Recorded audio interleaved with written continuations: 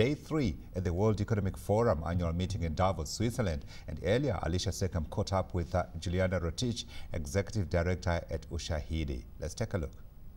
Social entrepreneurs have a very, very important role to play in fueling the resilient dynamism agenda, uh, particularly technology social entrepreneurs. That's the space that I come from. And we cannot talk about Africa's future, we cannot talk about any sort of dynamism without talking about entrepreneurship and technology in Africa. Um, one of the key roles that these uh, uh, entrepreneurs can play is to create solutions where a lot of problems exist and to provide efficiencies where there are a lot of inefficiencies. In fact, that's exactly where Ushahidi was born. So take us through the startup of your business because uh, it was born out of the frustrations of what was not working in the world. So take us through that. So we started Ushahidi in 2008, and it was in response to the um, state of the elections in Kenya at the time. It was a contentious election, and sadly, it resulted in the death of more than 1,200 people. Um, the problem there was the flow of information, where we were not be, we were not able to get signal as to what was going on where.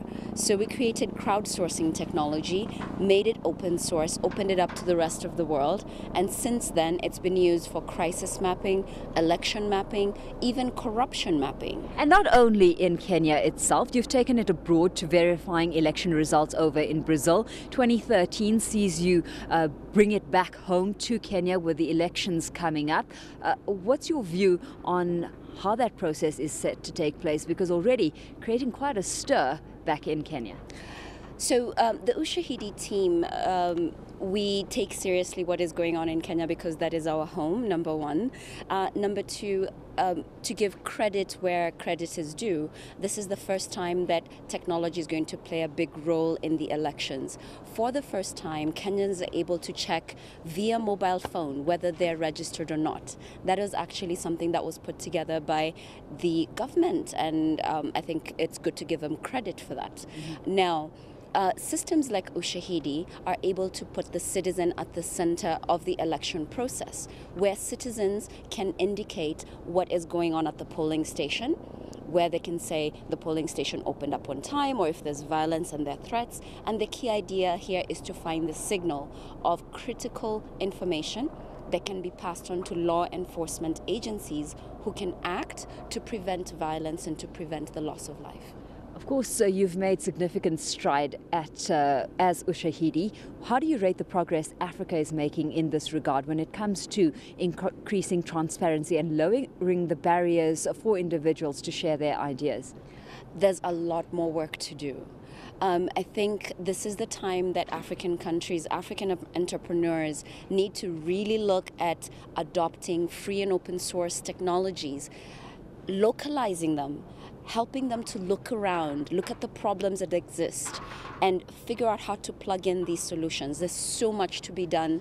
Um, we're seeing some strides with um, I Paid a Bribe Zimbabwe. There's a gentleman there who's using the platform to crowdsource information about uh, bribery if this information could be used to actually act upon these cases and reduce cases of corruption, it can take us in limitless ways. Mm-hmm. So uh, the current the current performance, I would say, is very nascent. We're just not there yet. There is so much more to do in uh, using technology. Uh, in Africa. Those targets get incredibly hard to hit uh, when you look at funding, and if funding and access to it becomes a challenge. I mean, uh, just how challenging and how tricky is it uh, to get funding as a social entrepreneur right now to pursue what is a noble endeavor? Um, it's definitely a challenge, but one of the things that uh, Africans need to, African entrepreneurs need to realize is that the field of uh, financing, not only for social entrepreneurs but also for startups, is global. There are interested, uh, there are interested uh, investors angel investors, foundations, and different organizations who are willing to fund good ideas, but not just good ideas that apply locally in Africa, local ideas that can scale. So there are challenges, but there are opportunities. Matching them up seems to be quite a challenge, but I truly believe if you have a good idea, it's possible to, to get to the next level. When it comes to uh, business models, uh, it's, it's a good time to start thinking about what are the appropriate business models that can be um, fostered in Africa because we've got unique problems, as you well know, but we've got fantastic potential in the young people who are creating solutions.